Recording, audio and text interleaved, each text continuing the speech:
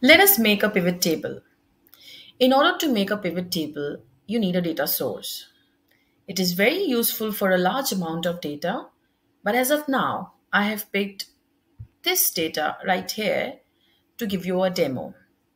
Now I'm assuming that I work as a teacher in a school and here is a table that shows the name of the students, first name and last name, their score, fees that they have paid, they are supposed to pay, the balance, and their enrollment status.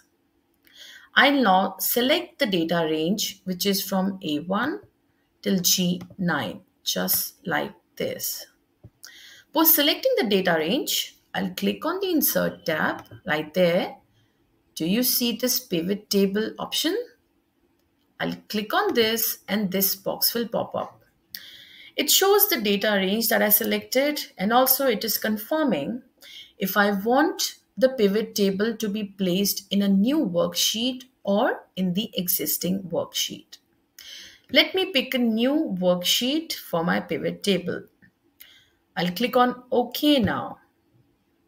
It has now picked my data source, which is in sheet 1, and made a pivot table with these fields. On the right hand side, this is the field list. I can see the different column names that I had in my data source and these four options are quadrant in other words. I can now view data in this table as per my requirement. Let me give you an example. Let's suppose that I need to see the first name of my students and how much marks they have scored in their exam.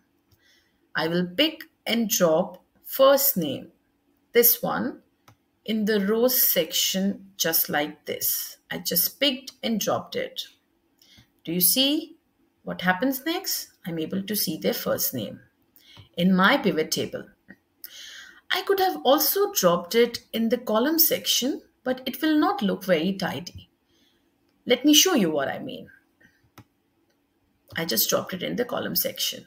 Do you see what happens?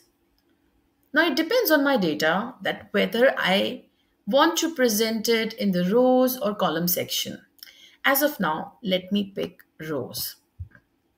Next, I wish to see their scores, which is a value obviously that I need to see.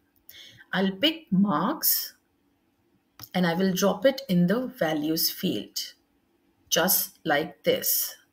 Are you ready to see what happens next? There you go. So, so easy, right? Let us suppose that I now wish to see how much fees they all have paid till now, their balance. What will I do next? I'll give you a moment to give me that answer. I'm assuming that you got it right. Yes, you're right. I'll pick balance and drop it in the values field. In case I don't wish to see any of these columns or rows that I've selected, I can remove them at any time. For example, I don't wish to see fees balance anymore. I'll send it back to the field list. I want to see it again. I'll drop it back. Easy, right? Now you must be wondering that what is the use of this section, filter. If I drop any data in this section, it shows the data in a list format under a filter. Let me show you what I mean. I'll pick the first name and drop it in the filter section. And there you go.